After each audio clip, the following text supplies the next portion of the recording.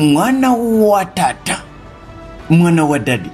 Nali ndabye omusomesa alina emyaka nkaaga mu etaano nga yatandika okusomesa ku myaka asatu ne mutya. Naye olunaku olwaleero mugaziyo obwongo nkuledde omukyala asaanikidde amawulire gonna betenash omukyala omumerika amaze emyaka nkaaga mu etaano nga flight attendant. Bano abalabirira abali mu nnyonyi okubalagirira entuula okubawa ebyokulya n'ebiringa ebyo. Omukyala gwe twogerako olunaku olwaliro alina emyaka 86 ye muntu akyasinza okumala emyaka emingi ng'akola mu nnyonyi. Omukyala betenash ku myaka 65 yatandikira mu kampuni y'ennyonyi eya eastern airlines. We yatandikira ng'agabira balinnya ennyonyi sigala n'obubiriti obw'okkumisa ono omukyala ava virginia manassas mu ggwanga erya america.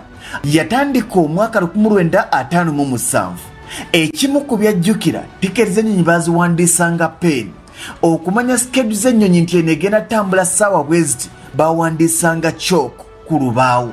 Ensi ekyuse. Toseka. Omukazi gwe twogerako ku myaka 86 jjukira yatandika 1957 nga ne uganda tunafuna bwetwaze. Kutuusa ku lwaliro akalima akyakalimu bwe twamubuuza nti owulira otya onaatera okwagala okuwumula yayombye agamba nkyakola.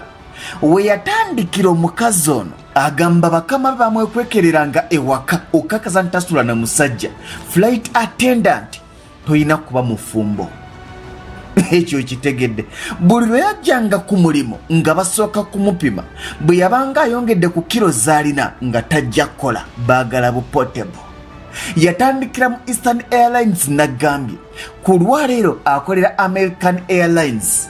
Naye we yatandikira baatambulanga okuva e new york paka washington nga wa dola 12 ah, okuva e new york paka washington nga wa dola 12 gyemitwalo ng'ena ng'olinnyo ennyonyi sente za baasi myaka nkaga mu etaano bete nash akyakola.